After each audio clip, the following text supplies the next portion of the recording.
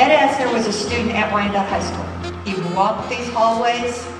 He wasn't exactly sure what he wanted to do in life. He didn't know he wanted to be that actor when he was your age. He started to think he kind of liked it, but he got involved in school activities to kind of figure that out too.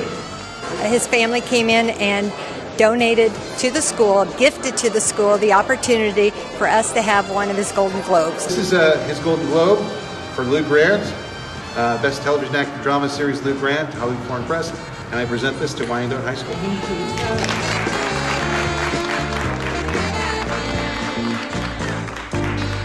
It's going to go in the main entry area. We call it our social hall. It's where a lot of the trophies are and a lot of the recognitions are, but he will have an entire showcase. And here is your father as a senior.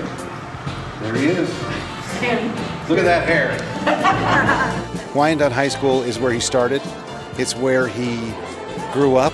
It's where he was formed as a person. And so, what better place to place a piece of his history? It's just very inspiring to be able to give something that could inspire somebody.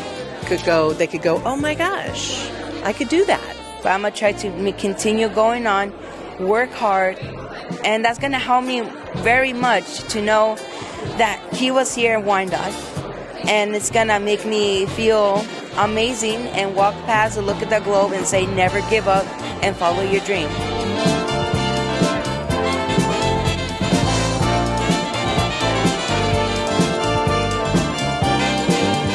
My father uh, died in, in 2021, uh, and he inspired people in life. We feel the odds are against us all the time in life, and it's important to have those moments of inspiration. So that's why we're here.